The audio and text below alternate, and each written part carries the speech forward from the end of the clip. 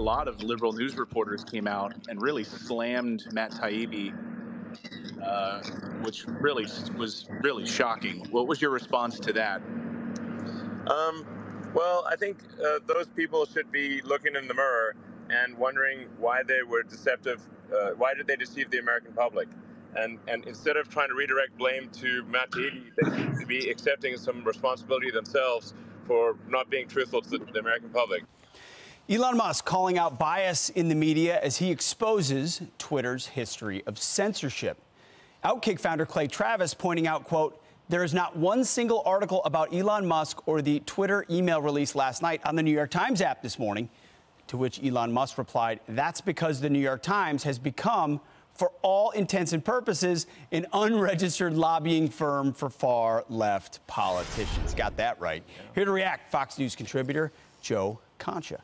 Joe, great to see you. Your response overall on how what Elon has exposed and how the media is reacting. I feel like I'm seeing the same movie over and over again, Pete. Before the presidential election, October of 2020, the Hunter Biden laptop story was dismissed. It was mocked. If you even thought that it was a real story, your account got locked on Twitter and you were called a conspiracy theorist. Yep. And now here we are 2 years later and everything in that laptop, all those emails have been verified. So you would think journalists would be like, "Oh, let's not do this again." And sure enough, Elon Musk puts out all these new documents through Matt Taibbi, a real journalist, and what are we seeing from these same journalists? Mockery or it's dismissed or it's ignored. Washington Post, for example, this morning has a story on the email dump by Elon Musk. And all they do is just say, there's no there there. This is no big deal. No, this is one of the most egregious, most most what, what, do I want to say here? Uh, biggest violation of power by an industry yeah. in big tech in its history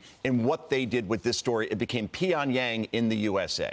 Elon Musk said, I believe there was election interference based on what Twitter did. Yes. If you played the reversal of that, of any, uh, any media company or social media company, it would be a what, four column byline, maybe five Easily. on the New York Times? Easily. Social media giant exposes election interference. Instead, I mean, here's, here's the media coverage. We did it earlier. Let's do it again. Yeah. CBS, ABC, NBC, MSNBC, zero minutes. CNN, 10. Good for them.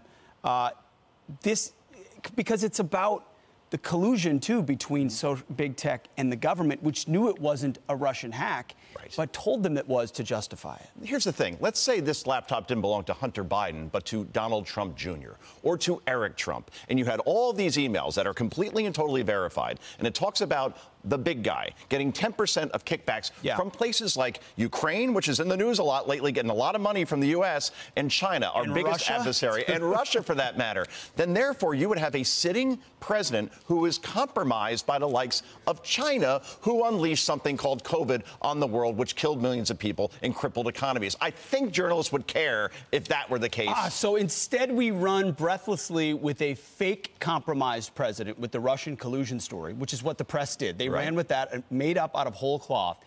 But they continue to this day to ignore real potential compromised president, yeah. even though it's right in front of them. And, and think about when, when, people talked about Russia collusion and that election being stolen in 2016. Yeah. You're not supposed to say it's stolen, right? You can't say that in any way, shape, or form. But in 2016, two thirds of Democratic voters believed that the Russians actually got into voting machines and changed hmm. vote totals, right?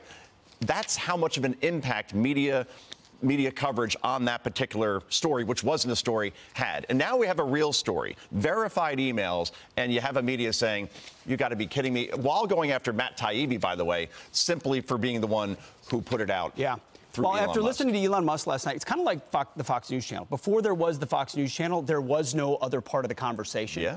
And today it's the highest rated network in the country. Uh, you, you could see that same kind of renaissance in Twitter. If people feel like, hey, I've got a real conversation here and an alternative as opposed to being blocked and suppressed everywhere else. Well, that's exactly right. And, and you see all these other Twitter rivals now popping up that, that many liberals are going to, saying this is the hot new place. No, nobody likes an echo chamber. And that's why people love Twitter so much because of the engagement from both sides. Yeah. And, and you're right about Fox. You know, when Fox came about, it found its niche audience, half the country, yes. right? they were very, very hungry for something else besides what they're being spoon fed every day. Because hoping those other media organizations change was not going to happen. Don't change those socks, by the way. I Boy, won't. Those Vikings, are tremendous. Vikings Jets today. Every yeah. single audio and camera tech in this studio is for the Jets. That's right. I know that, but the Vikes are going to do it today. All right. Joe? Save the tape. All right. And producers, everybody. I'm Steve Doocy. I'm Brian Kilmeade. And I'm Ainsley Earhardt. And click here to subscribe to the Fox News YouTube page to catch our hottest interviews and most compelling analysis.